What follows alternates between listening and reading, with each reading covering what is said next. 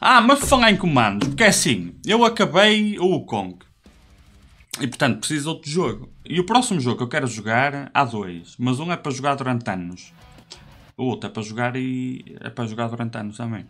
Que é, teoricamente, em novembro, o novo Flight Simulator. Essencial, imprescindível. E o. e o novo Dragon Ball. Que é o único Dragon Ball desde o Tenkaichi de jeito. Parece-me a mim porque ainda não experimentei, não é? Ainda não experimentei. Mas é o único Dragon Ball de jeito desde o do Tenkaichi. Dos. Quantos Tenkaichi saíram? Seis Tenkaichi? Porque saiu o Tenkaichi 1, 2 e 3. Não, desculpa. Budokai.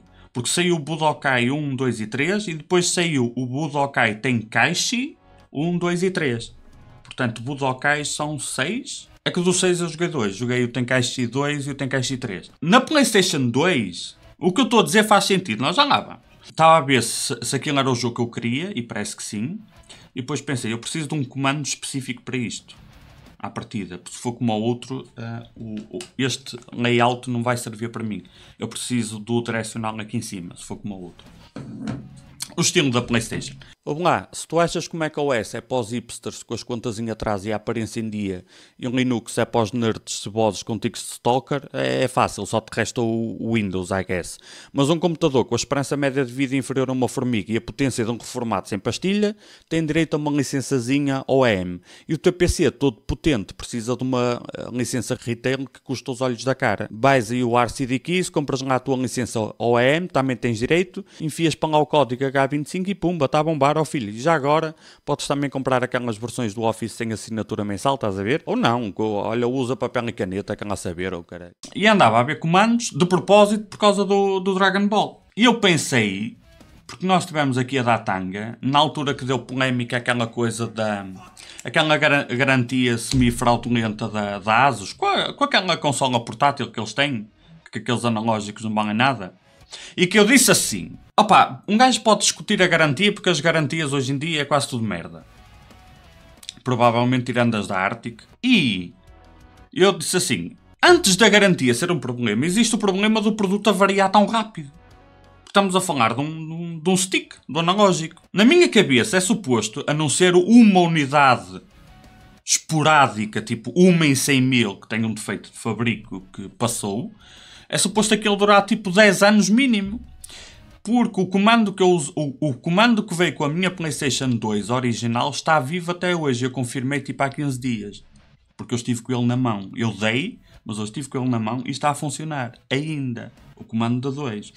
E há dois jogos, na PlayStation 2, há dois jogos que eu joguei mais que todos os outros juntos: o Gran Turismo 4, obra-prima, e o Tenkaichi 3 porque o Tenkaichi 2 eu joguei, mas não era meu, e quando eu fui comprar já tinha saído o 3, então eu comprei o 3. E joguei o 3, deu-me livre. Era, tipo, jogava um jogo qualquer, podia gostar ou não, acabava o jogo e voltava a jogar Gran Turismo e Budokai. E esse jogo, para vocês verem como eu sou chato, sim, eu sou chato, mas sou chato com razão. Havia dois tipos de. de dois momentos em combate no, no jogo eu vou-vos mostrar o vídeo. Vejam se percebem o que, é que, tá, o que é que vai acontecer aqui. Boas tardes, Sua Eminência. Estão a ver isto a mexer aqui? Embaixo? Existe outra situação onde isto acontece que eu acho que neste eles tiraram, porque eles sabem vai ser feito de outra forma, porque eles sabem que os comandos não duram. Os comandos são uma porcaria. Isto. Havia certos ataques que se tu e o adversário fizessem ao mesmo tempo, tinha que ser a combinação certa de ataques e de timing. Isto acontecia. E isto era muito importante porque quem ganhasse isto ficava com tipo. Dependendo de alguns fatores, tipo assim, 2 segundos, 3, 1,5, que tu podias fazer qualquer ataque, o inimigo ficava vulnerável, não conseguia fugir. Olhem o analógico, a, a, aquele símbolo do analógico. Era o que nós tínhamos que fazer. Quem conseguisse, e se fosse um contra um, multiplayer físico, não é? Era isto que nós fazíamos. Eu recordo-me que eu pegava. Eu fiz isso tantas vezes que eu pegava. O analógico era aqui, mas whatever. Que opá, a mão já estava treinada. Mal engatinhava aquele ataque, eu inclinava assim o comando e com a, com a palma desta mão girava o analógico.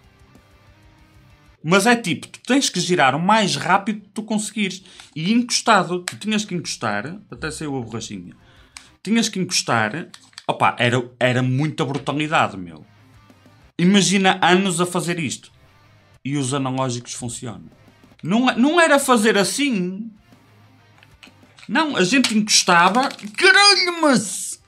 Era até não dar mais. Era uma agressividade para o comando que qualquer. Mesmo estes que têm o. O Halo Effect, ou como é que eles dizem. Por acaso a precisão destes é fixe. Mas eu não me acredito que isto durasse. Se no novo Dragon Ball implementassem este sistema, porque acho que tem isto, mas com tens que carregar nos botões com timing. É um bocado, é um bocado versão coninhas, não é? Sinais dos tempos. Os comandos, não, os comandos não iam aguentar, meu. Aposto. Se nós tivéssemos que fazer isto regularmente, os comandos não iam aguentar. Um gajo massacrava os analógicos com essa cena e a seguir ia jogar qualquer outro jogo e estava perfeito. Não havia stick drift, não havia. Né? E, o, e os comandos da PlayStation 2, o da 3 eu não me recordo. Porque eu não tive a 3, eu tive a, a Xbox 360. Mas joguei, óbvio. Mais um, uma renda. Só que não me recordo. Os comandos da PlayStation 2 tinham uma coisa que não sei se tinha na 3, mas sei que agora os comandos não têm. Que é, mesmo o, o, os direcionais, eu acho que o Gran Turismo 4 eu ainda joguei com direcionais para virar. Não tenho a certeza. Ou não, não tenho a certeza. Mas os direcionais e este aqui, principalmente estes aqui, faziam muita diferença. Isso. Que é. Tu podias fazer mais ou menos pressão no botão. Os comandos deram downgrade nisso. E eles não estragavam. Ou seja, para, para quem tem menos de. Para quem é chaval, para quem é miúdo, nos jogos de corrida de antes, tu aceleravas aqui, aqui acelerava, aqui travava. E eh, onde são agora os triggers era para aumentar e reduzir eh, as velocidades. Então o gajo acelerava aqui, segunda, terceira, quarta, travava, reduzia para segunda, para primeira. Era assim que se fazia. E no Gran Turismo era perfeitamente possível controlar a aceleração e a travagem fazendo mais ou menos força no botão. Eu lembro que eu apanhei uma manha que é, eu encostava aqui esta parte do dedo, aqui, eu encostava aqui no plástico e fazia assim. Eu apanhei uma manha que eu conseguia controlar bem a pressão, tanto a acelerar como a travar. A travar, eu punha o dedo por cima do botão, ao lado aqui, não carregava no botão, punha a ponta do dedo aqui e fazia assim. Então conseguia apanhar essas manhas para conseguir controlar a travagem e a aceleração. Os comandos nunca mais tiveram isso. A cena é, os analógicos eram feitos para levar porrada, não tinha stick drift. Uh, estes botões tinham uh, esse, não, não sei qual era o mecanismo que eles usavam, mas tu podias fazer mais ou menos pressão, eles atuavam mais ou menos e duravam. E agora quero descobrir qual é o comando que faz isso e que dura. Porque os comandos que há agora que são caros é porque têm features ah, mas tem uma sensibilidade aqui, tem o, o 14 botão não sei onde. Filho, se eu esfregar o analógico como eu fazia com o Dragon Ball e se ele cair ao chão 45 vezes a cada dois meses, acho que era uma boa média, até porque a gente jogava normalmente na televisão e alguém passava entre a televisão e nós e o pé engatava no cabo e quando caía o comando era bom. Quer dizer que não tinha caído a própria PlayStation. Era, era, fazia parte da experiência do gamer cair ou o comando ou a Playstation porque alguém bateu lá com o pé. Eu só quero que me digam os especialistas de comandos porquê que nós não temos comandos assim.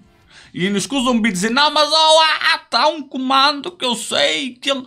Isso tu podes atirar para o chão, para a água, para o céu, pode andar à chuva, podes fazer o que quiseres que ele não estraga. Por apenas 389,90€ ele faz isso tudo.